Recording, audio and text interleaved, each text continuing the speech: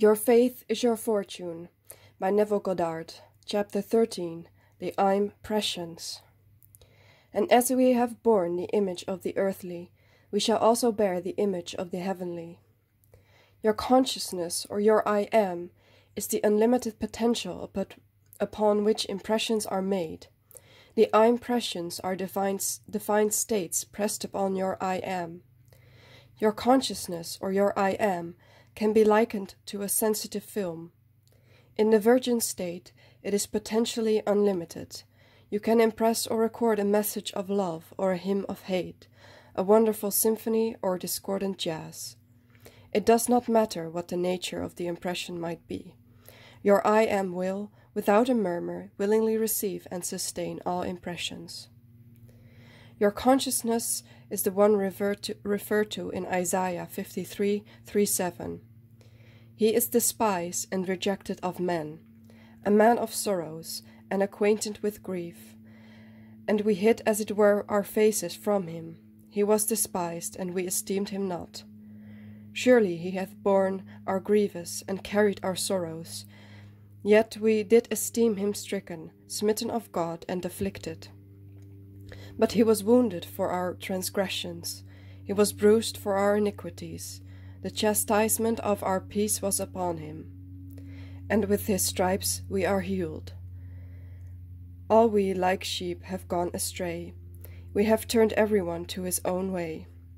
And the Lord hath laid on him the iniquity of us all. He was oppressed, and he was afflicted. Yet he opened not his mouth. He is brought as a lamb to the slaughter, and as a sheep before her shearers is dumb so he opened not his mouth. Your unconditioned consciousness is impersonal. It is no respecter of persons. Without thought or effort, it automatically expresses every impression that is registered upon it. It does not object to any impression that is placed upon it, for, although it is capable of receiving and expressing any and all defined states, re it remains forever an immaculate and unlimited potential. Your I am is the foundation upon which the divine state or conception of yourself rests, but it is not defined by, nor is it dependent on, such defined states for its being. Your I am neither expands nor contracts, nothing alters or adds to it. Before any defined state was, it is.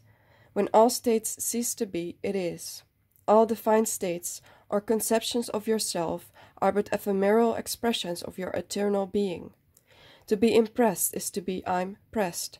I am pressed. First person, present tense. All expressions are the result of I'm pressions. Only as you claim yourself to be that which you desire to be, will you express such desires.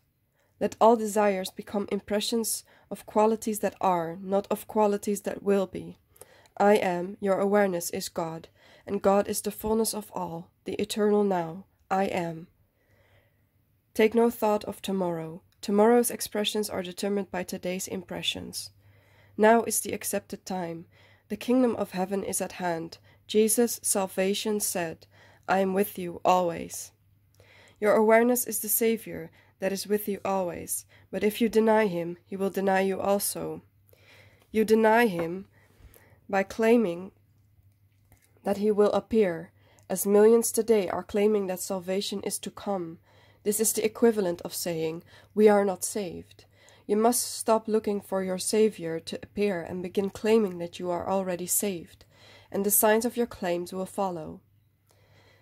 When the widow was asked what she had in her house, there was recognition of substance. Her claim was a few drops of oil. A few drops will become a gusher if properly claimed. Your awareness magnifies all consciousness. To claim that I ha- that I shall have oil, joy, is to confess that I have empty measures. Such impressions of lack produce lack.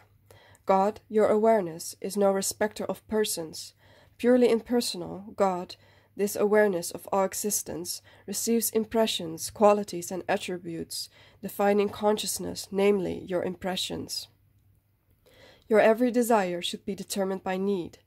Needs, whether seemingly seeming or real, will automatically be fulfilled when they are welcomed with sufficient intensity of purpose as, defi- as defined desires. Knowing that your awareness is God, you should look upon each desire as the spoken word of God, telling you that which is. Cease ye from man, whose breath is in his nostrils, for wherein is he to be accounted of? We are ever that which is defined by our awareness. Never claim, I shall be that. Let all claims from now on be. I am that I am. Before we ask, we are answered. The solution of any problem associated with desire is obvious. Every problem automatically produces the desire of solution. Man is schooled in the belief that his desires are things against which he must struggle. In his ignorance, he denies his Saviour, who is constantly knocking at the door of consciousness to be let in. I am the door. Would not your desire, if realized, save you from your problem? Let your Saviour in in is the easiest thing in the world. Things must be, to be let in. You are conscious of a desire. The desire is something you are aware of now. Your desire, though invisible, must be affirmed by you to be something that is real. God calleth those things which be not, are not seen, as though they were claiming I am the thing desired, I let you, I let the Saviour in. Behold, I stand at the door and knock. If any man hear my voice and open the door, I will come to him, and will sup with him, and he with me. Every desire is the Saviour's knock at the door. This knock every man hears. Man opens the door when he claims, I am he. See to it that you let your Saviour in, let the thing desired press itself upon you until you are impressed with nowness of your Saviour, and then you utter the then you utter the cry of victory. It is finished.